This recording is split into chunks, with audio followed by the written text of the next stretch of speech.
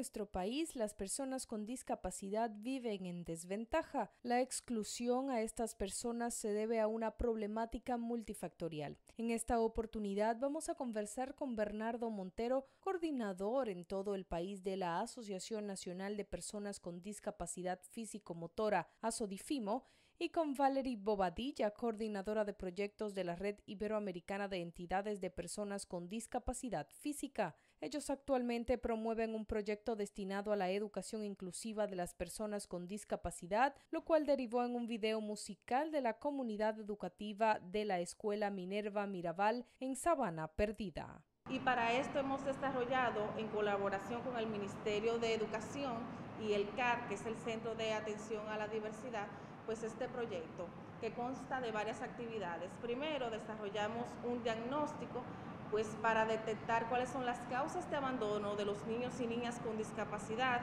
en la escuela y, en, la, comunidad en sí, que, asiste pues eh, estos niños al aula de recursos. ¿Qué es el aula de recursos? Pues el aula de recursos es un espacio donde se reciben los niños con discapacidad, se les apoya para que luego puedan pasar a, las aulas regulares con los demás niños. Esto es una estrategia del Ministerio de, Educación. Otro de los puntos que tenemos dentro del proyecto pues son actividades de capacitación pues para sensibilizar en trato y educación inclusiva.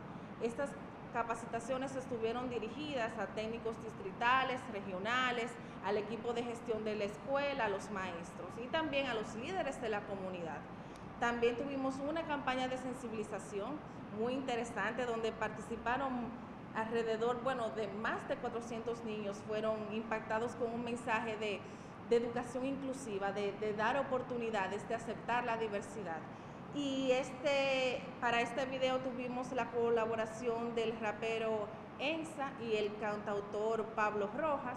Este, tuvimos la, colaboración también de la productora El Spin que nos facilitaron pues su patrocinio y allí pues desarrollamos en la escuela este, este bonito video que le pueden dar seguimiento en YouTube.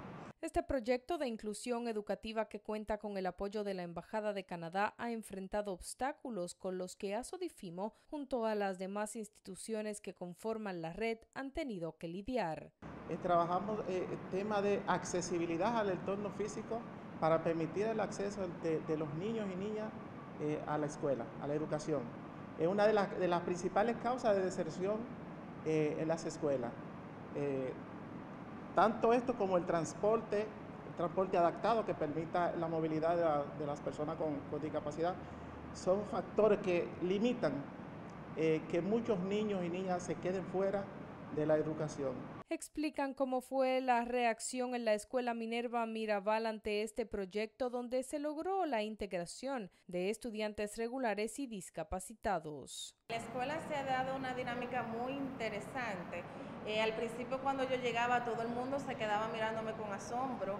Este, realmente en la escuela Minerva Mirabal las discapacidades que se manejan van asociadas a síndrome de Down, a déficit de atención.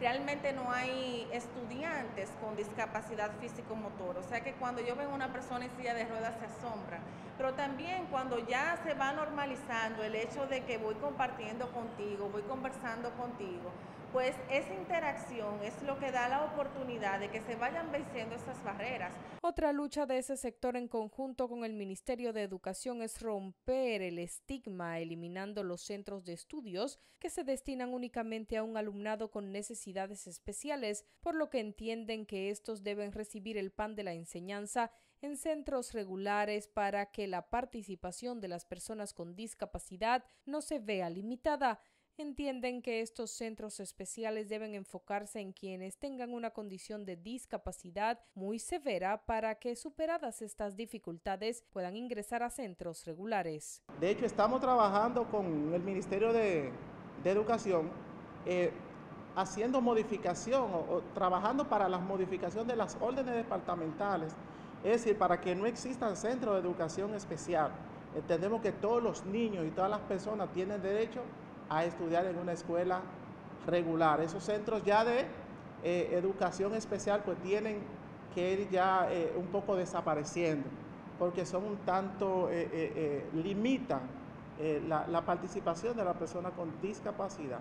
La red también trabaja diversos temas de acuerdo a las necesidades de las comunidades como son la inserción laboral, derechos sexuales, equidad de género, entre otros. De la equidad de género no se escapa pues la mujer con discapacidad. Necesitamos realmente que la mujer este, tenga más acceso a puestos de trabajo, que se tome en cuenta sus capacidades y que si bien la, la, mujer está actualmente pues en una condición de vulnerabilidad por el hecho de ser mujer, súmale a eso también el hecho de la discapacidad. Entonces se, requiere también un trabajo de doble sensibilización, no solamente el tema por, de género, sino también el tema de que somos igual de capaces que cualquier otra mujer, que, que nuestros compañeros hombres también. O sea que realmente es algo que, que la red y sus entidades están laborando porque se sigue empujando y que sigan abriéndose más campos de, de oportunidades.